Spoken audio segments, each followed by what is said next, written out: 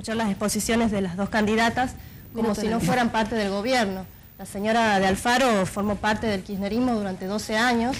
No sé cómo puede asombrarse de los problemas de seguridad, de los problemas de trabajo, de educación, de salud, cuando durante 12 años votó cuanto proyecto fuera legislatura proveniente del alperovichismo.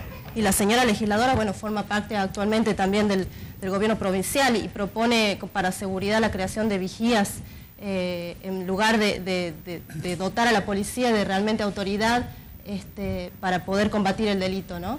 Realmente me, llama la atención. Sí, yo justamente con esa última parte de tu propuesta y lo que planteabas de sacar el ejército a las calles, lo veo con mucha preocupación eh, con lo que ha significado para la historia de nuestro país que el ejército haya salido a las calles. Actualmente Santiago Maldonado está desaparecido y es una, política sistemática del gobierno de Macri encubrir a la gendarmería. Estas son las consecuencias de ese tipo de políticas. Entendemos que la militarización no puede eh, ser la solución al problema este, de, la, inseguridad. Incluso me parece que, eh, por, lo, que decías del oficialismo y las candidatas que, ya formaban parte del gobierno. Creo que tampoco el busismo está en condiciones de hablar tampoco de corrupción, cuando eh, Ricardo Bussi, es el heredero de millonarias fortunas que recibió por parte de su padre, que las creó justamente durante la última dictadura militar.